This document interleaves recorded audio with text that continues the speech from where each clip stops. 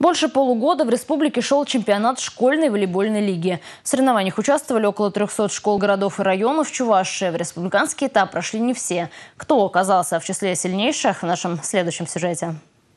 Мастерство игрока в волейболе далеко не залог успеха. Чем сплоченнее коллектив, тем выше шансы на победу в командных видах спорта. Те, кто сумел отобраться на республиканский этап, а это более 50 дружин юношей и девушек, показали, как чувство локтя влияет на результат. Своей игрой лидеры соревнований заинтересовали всех зрителей.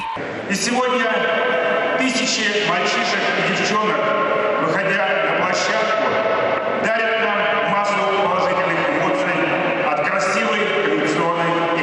Участников порядка 15 тысяч за этот промежуток приняли участие. Представляете, сколько эмоций. Но самое главное азарт. Вы же слышите, вот за у меня за спиной что творится. И слезы радости, и, и слезы горя, кто проиграет.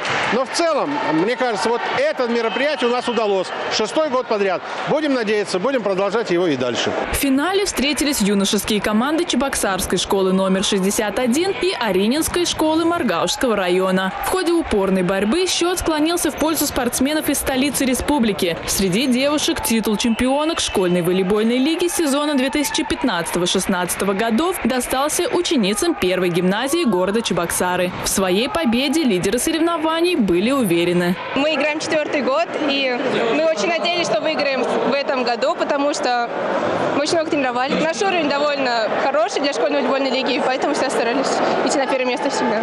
Победители и призеры по сложившейся традиции, помимо грамот, медалей и кубков, получили новый инвентарь, необходимый для игры в волейбол, а значит и для улучшения своих результатов в предстоящих сезонах. Екатерина Абрамова, Игорь Зверев, Республика.